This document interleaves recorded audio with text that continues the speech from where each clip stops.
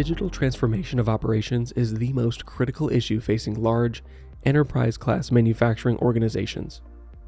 The legacy approach that has been used for decades has never really worked well, and as technology advances, the continued use of those legacy technologies and paradigms brings companies consistently closer to catastrophic system failure.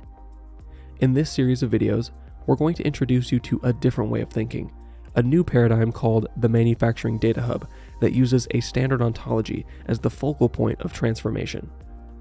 This approach uniquely solves the four most critical problems that cause failure in digital transformation for manufacturers.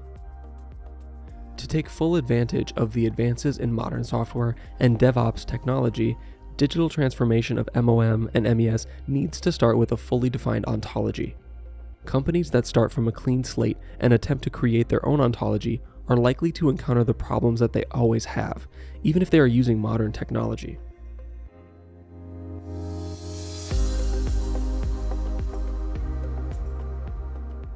Ontology is about common language. An ontology defines the entire knowledge base in a given domain. The important thing about ontology is that it is complete. It contains everything and every concept in the domain. To be successful in MES and MOM transformation, we need to define the language of manufacturing operations. To do that, we need a way to represent the things, or entities that make up the domain and the relationships that exist between them.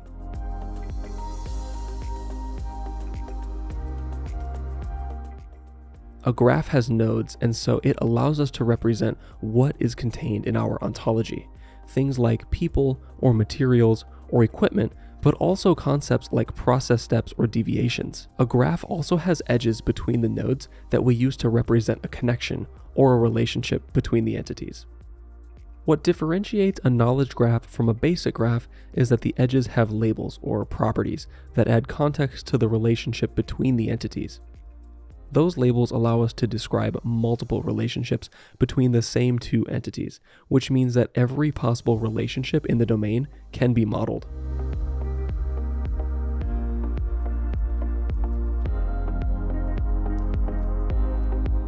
So, if you have a graph that contains every entity and every possible relationship in a domain, you have an ontology, represented by a knowledge graph. This concept is the core principle of what we call a manufacturing data hub. A manufacturing data hub is more than just the knowledge graph and the ontology that it contains. But for this series of videos, we'll focus on the most important concept, which is how an ontological approach to MES and MOM greatly increases your chances for success in large scale digital transformation for manufacturing operations. At Rhize, decades of experience in the domain of manufacturing operations has led us to the conclusion that there are four distinct problems that manufacturers face when they approach digital transformation with legacy systems and commercial off the shelf MES products. These problems are insurmountable with legacy technology and antiquated architectures but they are uniquely solved with the Rhize manufacturing ontology, which is a standardized ontological approach built on a knowledge graph. For purposes of explaining the solution, we need to establish the typical baseline that we encounter in manufacturing. Because it's common in the industry, we'll use the electronic batch record as the use case that we're digitally transforming. If EBR doesn't apply to you, just substitute the systems that make up your most important use case genealogy, track and trace, or maybe production order management.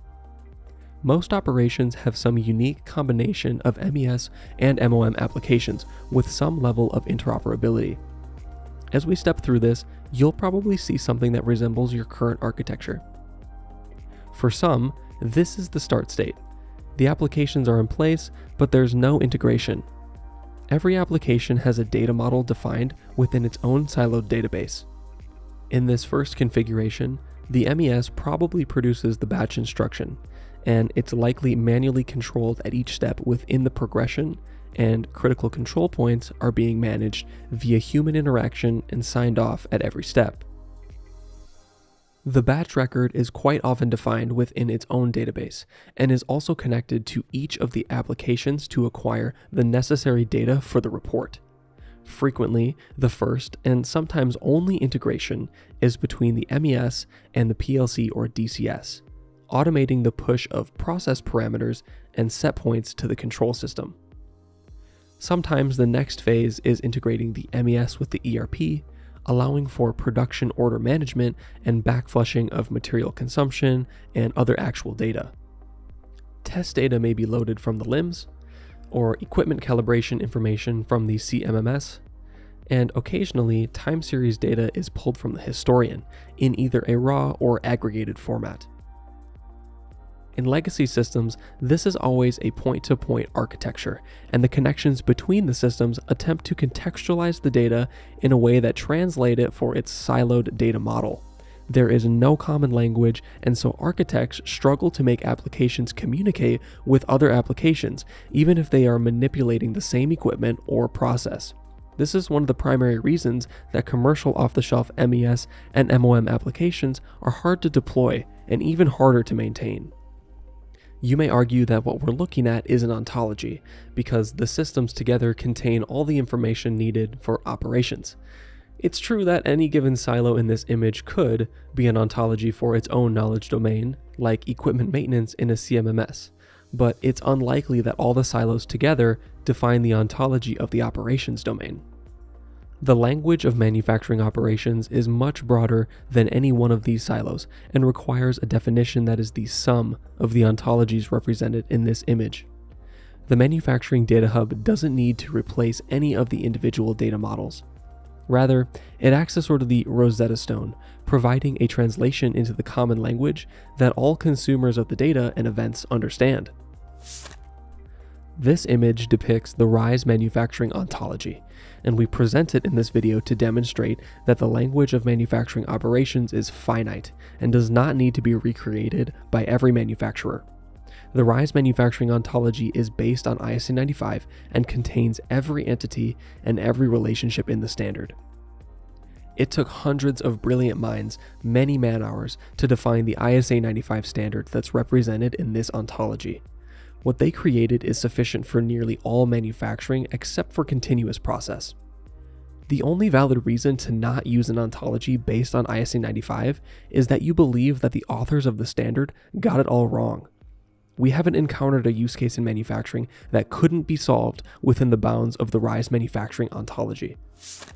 You can think of the Rhize manufacturing ontology as a paint by number what you paint first, or what color key you use, or how much you paint in each session is up to you, and it should be defined by the requirements of your individual use cases.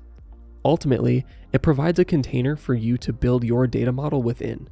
And if you find yourself thinking you need to extend beyond the guardrails provided by the ontology, it probably means you should re examine your use case requirements. In the next video, we'll show you how the Data Hub approach overcomes the most common problem in digital transformation, data modeling and governance.